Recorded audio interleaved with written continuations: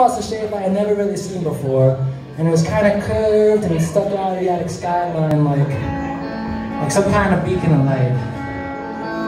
So I walked over to this case and I ran my fingers across the cracked leather seams until they met these two rusty metal latches, and pop! The lid flew open, and it was my mom's guitar from when she was pretending to be a hippie in the 60s or some shit. This thing I couldn't believe that it had been above my head my entire life, like, like some kind of rosewood guardian angel, you know? So I slammed the lid shut and I ran down the stairs and I tried to learn how to play anything on guitar I could. So I googled how to play guitar. and the first thing that came up was this A chord right here. It have been alphabetical or some sort.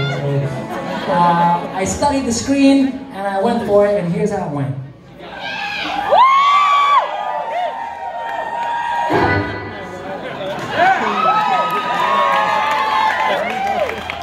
tried again and again and again and again, and finally there it was. The sound of glory, and it pierced through the air and it penetrated every single one of my not-so-great teenage boys. But it was that exact moment that I knew what the meaning of my life was in this cruel and lonely world.